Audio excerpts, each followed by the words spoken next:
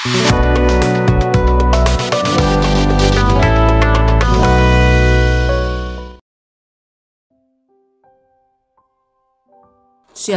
Bapak Ibu, Saudara yang dikasihi Tuhan. Bahagia kita berjumpa lagi lewat renungan harian Toraja, edisi Kamis 20 Oktober 2022. Mari kita terlebih dahulu berdoa. Kita berdoa. Terpujilah namamu ya Tuhan, jikalau Tuhan sudah boleh membangunkan kami hari ini, menemui hari yang baru, hari yang Tuhan anugerahkan bagi kami, bahkan kekuatan kesehatan yang Tuhan berikan. Terima kasih Tuhan, kami bisa berjumpa lewat renungan harian.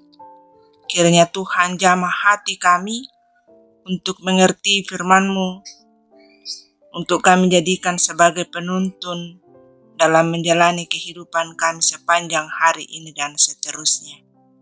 Bersabdalah ya Tuhan, karena sesungguhnya kami sudah siap untuk membaca firman-Mu. Dalam nama Tuhan Yesus kami berdoa. Amin.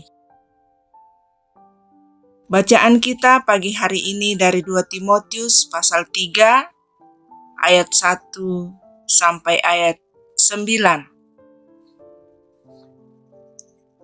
keadaan manusia pada akhir zaman. Ketahuilah bahwa pada hari-hari terakhir akan datang masa yang sukar. Manusia akan mencintai dirinya sendiri dan menjadi hamba uang. Mereka akan membual dan menyombongkan diri. Mereka akan menjadi pemfitnah. Mereka akan berontak terhadap orang tua dan tidak tahu berterima kasih, tidak mempedulikan agama, tidak tahu mengasihi, tidak mau berdamai, suka menjelekkan orang, tidak dapat mengekang diri, garang, tidak suka yang baik, suka mengkhianat, tidak berpikir panjang, berlagak tahu, lebih menuruti hawa nafsu daripada menuruti Allah. Secara lahiriah mereka berja menjalankan ibadah mereka, tetapi pada hakikatnya mereka memungkiri kekuatannya. Jauhilah mereka itu, sebab di antara mereka terdapat orang-orang yang menyelundup ke rumah orang lain dan menjerat perempuan-perempuan lemah yang syarat dengan dosa dan dikuasai oleh berbagai-bagai nafsu yang walaupun selalu ingin diajar namun tidak pernah dapat mengenal kebenaran. Sama seperti Yanes dan Yambres menentang Musa. Demikian juga mereka menentang kebenaran.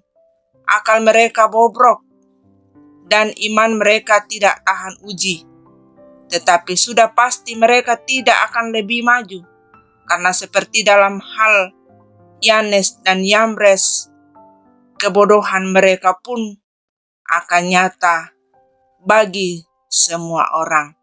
Demikian firman Tuhan. Tema kita hari ini cinta Tuhan dan cinta diri ungkamalik puang sia ungkaboroi kale. Sikap cinta diri yang berlebihan telah nampak sejak peristiwa kejatuhan manusia ke dalam dosa.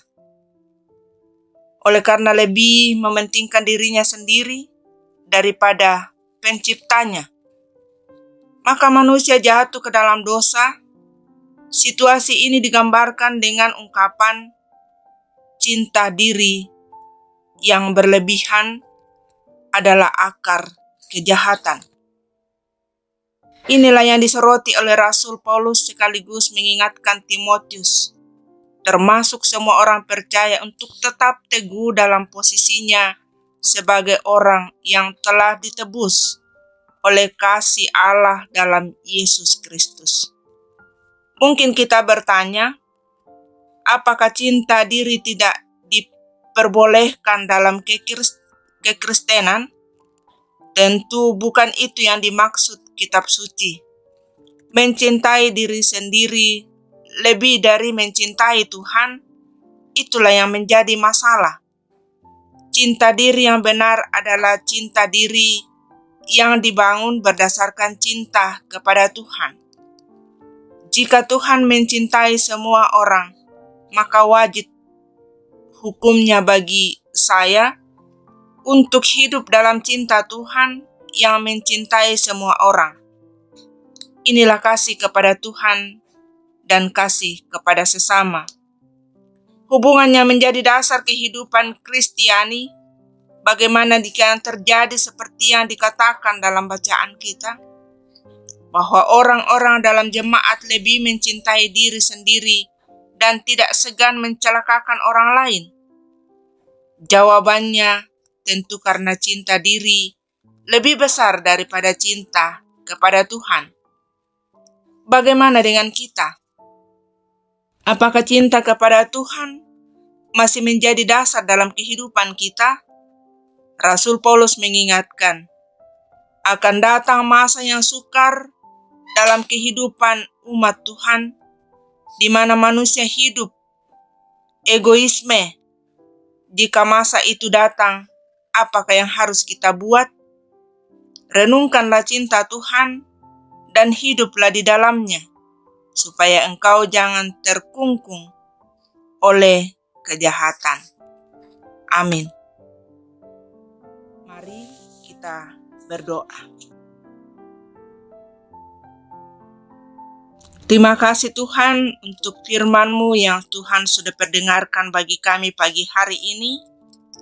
Kami bersyukur kami datang disapa oleh firman-Mu untuk mengajari kami mencintai Tuhan terlebih dahulu baru mencintai diri sendiri dan sesama. Kiranya melalui firman-Mu pagi hari ini Tuhan, umat-umat-Mu tetap senantiasa dalam menjalani kehidupannya selalu mencintai Tuhan lewat apa pun yang dilakukan dan tetap senantiasa melakukannya dengan sukacita.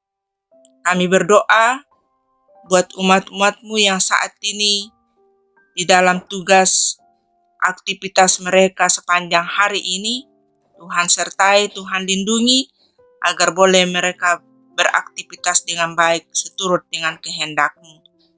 Kami berdoa buat orang-orang yang dalam kelemahan tubuh, orang-orang yang kami kasihi baik yang ada di rumah sakit maupun yang ada di rumah masing-masing.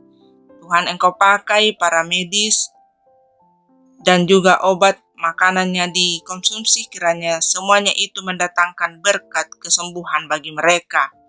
Kami doakan buat para lansia di dalam menjalani masa tua mereka, Tuhan sertai, berikan dia semangat iman kepada Tuhan untuk tetap senantiasa selalu berpengharapan, sehingga mereka pun tetap senantiasa dalam lindungan kasih pemeliharaan Tuhan. Kami berdoa buat pelayan-pelayanan yang dilakukan setiap umat-umatmu.